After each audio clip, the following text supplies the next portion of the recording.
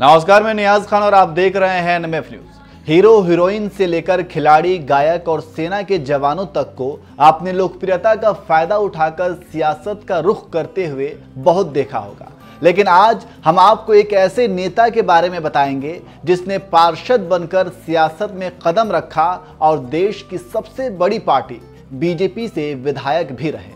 लेकिन इसके बावजूद सब कुछ छोड़कर समाज सेवा की ओर रुख कर लिया।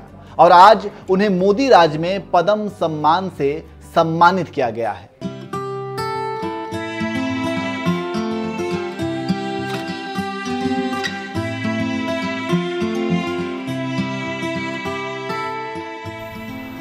श्री जितेंद्र सिंह शैंटी समाज सेवा।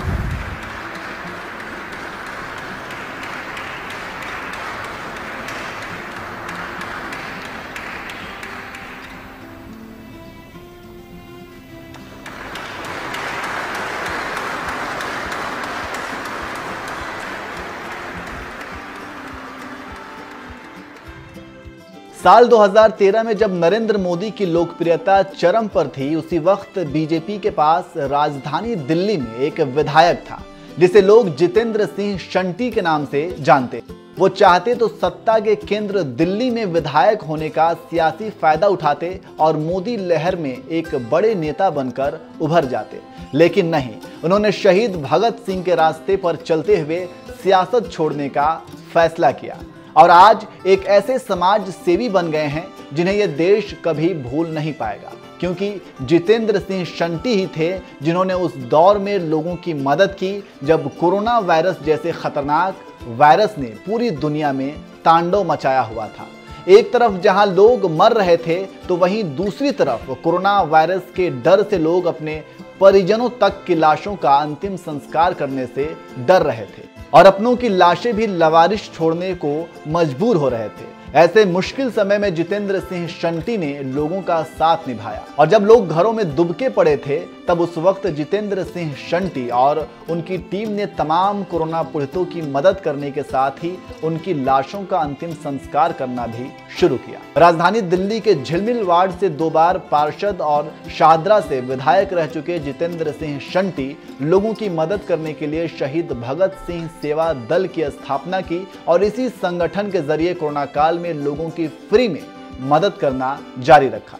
जितेंद्र सिंह शंटी बताते हैं, लोगों की सेवा के लिए हम करीब 25 वर्षों से काम कर रहे हैं। कोरोना काल के दौरान जब कोई किसी को हाथ नहीं लगा रहा था तो हमने उनकी मदद की। मेरे अलावा मेरे ड्राइवर और बच्चों ने भी इसमें मेरा साथ दिया। इस दौरान मेरा एक ड्राइवर भी शहीद हुआ था। हमने चार हज़ार से अधिक शवों का अंतिम संस्कार किया। कोरोना की पहली लहर से अब तक हम चार हज़ार से अधिक लोगों का अंतिम संस्कार करा चुके हैं। करीब उन्नीस हज़ार से अधिक मरीजों के लिए हमारी एंबुलेंस हर समय तैयार रही और उन्हें अस्पताल लेकर पहुँचे। इसके अलावा चौदह हज़ार से अधिक लोगों की अस्थियाँ भी हमने विसर्जित कराई।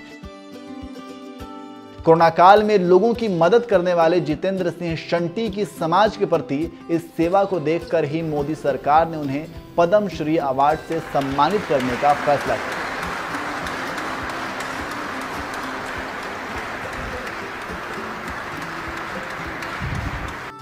ये खबर मिलते ही जितेंद्र सिंह शंटी ने यही कहा 26 जनवरी को जब मेरा नाम आया इस अवार्ड के लिए तो उसके बाद कोरोना की दूसरी लहर आ गई।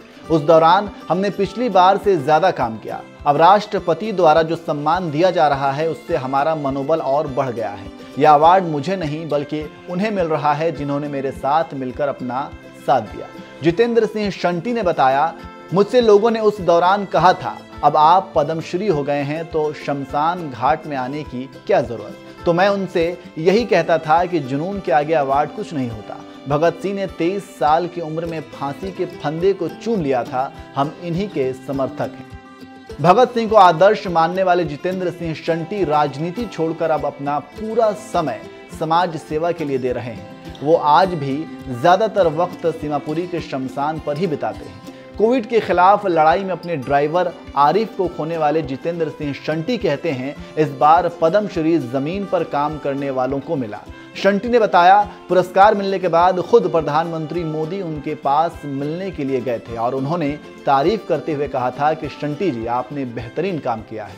पीएम मोदी से मुलाकात के बाद जितेंद्र सिंह शंटी ने यही कहा, सेवा के लिए हौसला अफजाई करने के लिए आदरणीय प्रधानमंत्री नरेंद्र मोदी जी का आभार। मैं विश्वास दिलाता हूँ कि आखिरी सांस तक मैं और मेरा परिवार मानवता और देश की सेवा करता रहेगा। भारत माता की जय। मोदी राज में अपनी सेवा को सम्मान मिलने के बाद जितेंद्र सिंह शंटी ने एक न्यूज़ चैनल को बताया, अब एक नई ज़िम्मेदारी आ गई है और डट कर सेवा करूँगा, ऐसे शख्स को पद्म श्री मिलने पर आपका क्या कहना है? कमेंट करके हमें ज़रूर बताएँ। श्री जितेंद्र सिंह शंटी, समाज सेवा।